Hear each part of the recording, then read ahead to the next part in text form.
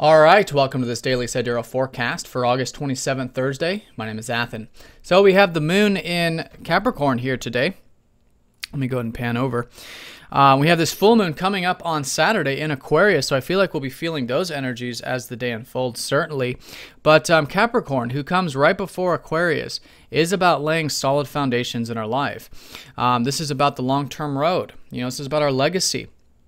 And when the moon's here, it's really tapping into those qualities.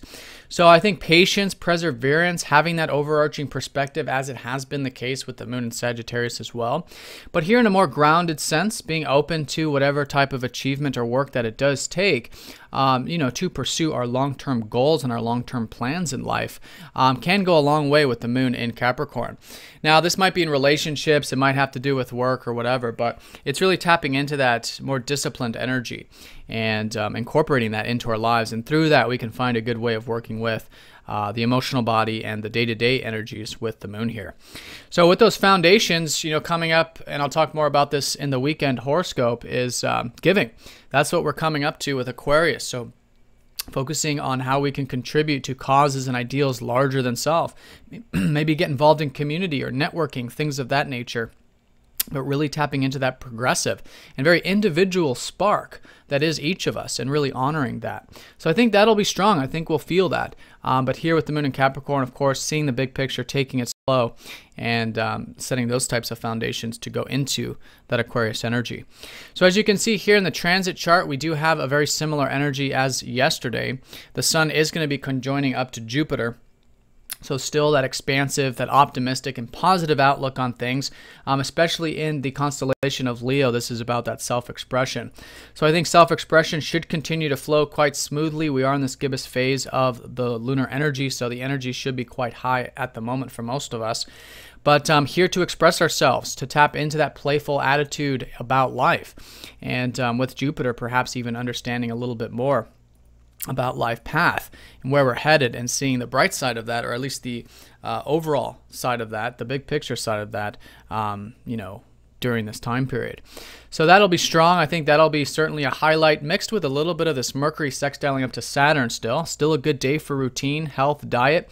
And i would say especially so because mercury is very close to that north node and they're going to be going conjunct tomorrow so, for the past two years, we've had this energy of self discipline, like um, self routine, self improvement, helping others, um, service work. A lot of this energy that's been shifting for us in terms of how we can be more practical, how we can be more grounded, more analytical, and take in a lot of these spiritual energies, which is Pisces, and actually live it and embody it and, you know, channel it through our work.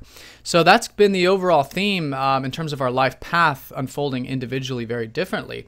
But here today, I think there is a lot to learn about this and maybe even a new perspective on things relating to self improvement and our work and things of that nature. Probably more so tomorrow, but I highly recommend all of this Virgo energy, like I've been saying, especially with Mercury sextile by Saturn right now in dignity and exaltation. And uh, with the North Node here, we can learn quite a bit about it. It is, of course, a new sort of energy. That's how it feels with the North Node. So being aware of that, but taking it slowly, and I think anything relating to improving self and other um, is a fantastic utilization of this day. So that's the general energies. Now in the morning time for those of us in North and South America, and in the middle day for those of you in Europe. And if you're in New Zealand or Australia, do watch the previous day's video, as you'll find that to be more accurate.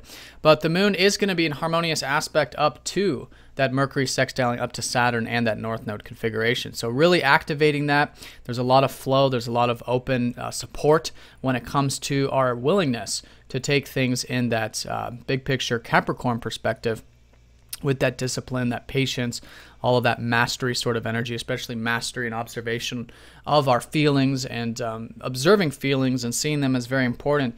But again, you know, taking the initiative and the uh, effort and work that is Capricorn that it takes to um, pursue those things that are important to us in life.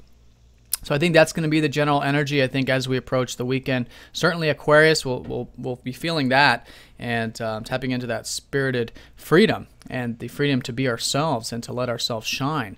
I think will be a good way of segueing into tomorrow. So have a fantastic day, everyone. Thank you again for all of your support. Please let me know if you have any questions. I'll talk to you all tomorrow.